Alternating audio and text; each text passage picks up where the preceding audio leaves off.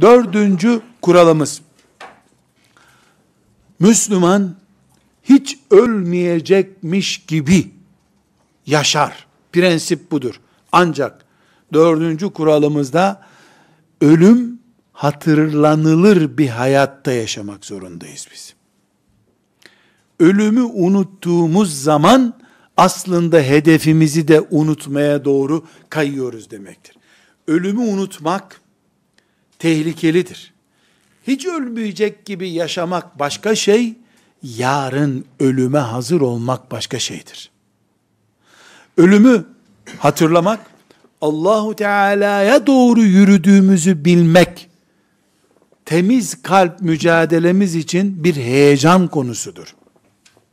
Eğer insanlar cenazelerini gömerken bile sigaralarını yakıyorlar, cep telefonuyla mezarlıkta muhabbet ediyorlarsa, o arada da birileri onun en yakın akrabasını mezara koyuyorsa, ölüm bile ibret olmaktan, ders olmaktan uzaklaşmışsa, kimse Kudüs diye bir davadan söz etmemelidir. Filan milli davadan söz edilmemelidir. Zira oradaki Müslümanlarsa Müslümanlığın görüntüsü, orada dünya ahireti ezmiş geçmiş demektir. Ölümün ders olma niteliğinin kaybedilmiş olması bir afettir. Allahu Teala'ya doğru yürüdüğümüzü, iyi kul veya kötü kul, nasıl olursak olalım, onun huzuruna bizim dikilip bekleyeceğimiz gün mahşerimizin olduğunu unuttuğumuz an hayatı kaybettik. Ahireti uzaklaştırdık demektir. Nauzu billah. Dördüncü hedefimiz elbette herkes evine büyük bir mezarlık resmi assın demek değil bu. Herkes bahçesine derin bir çukur kazsın, iki tane de taş koysun, adını da yazsın oraya. Filanca öldüğü zaman bu mezara konacaktır. Her akşam gelsin orada mezar egzersizi yapsın. Bunu kastetmiyoruz herhalde. Böyle çocukça anlayacak kadar basit bir konu değil bu. Neyi kastediyoruz ya? Ölüm gerçeği unutulmamalı. Bir, günah işlenirken ölü babanın, ölü dedenin çocuğu olarak bu günahı nasıl işliyorsun diye vicdan hareketlenmeli. Haydi günah potansiyel olarak var bizde diye işledik.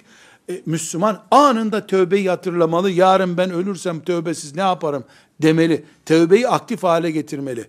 Hac yaparken, Ramazan orucu tutarken, ezan okunup camiye çağırırken müezzin bizi bu yarın cenazesi kılınacak bir insan olma ihtimalimiz hiç devre dışı tutulmamalı. Ölümü hatırlamak bu. Yoksa mosmor suratla e, hatta e, beyaz kefen bir elbise giyerek dolaşmak Müslümanca bir şey değil. Evlenme, çoluk çocukla uğraşma, kefen gibi bir elbiseyle dolaş böyle değil. Onu kastetmiyoruz. O da bir şeytan tuzağı. Hep bu dünyada kalacak gibi ama hazır. Ölüme hazır. Mantık böyle olacak. Bu dördüncü testte ne kadar böyle bizde bunu namaza hareketimizde anlayabiliriz. Haramlardan kaçarken anlayabiliriz.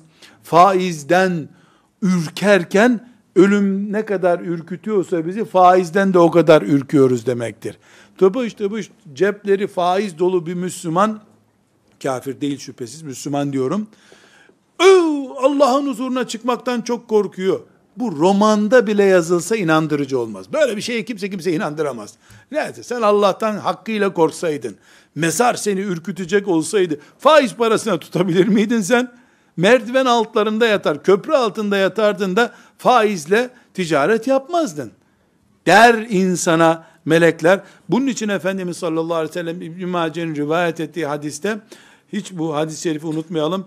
Eksiru zikra hadimil lezzat tatları yarıda bırakan ölümü unutmayın. Ölüm öyle bir şey ki her, herkesin lezzetini yarıda bırakıyor.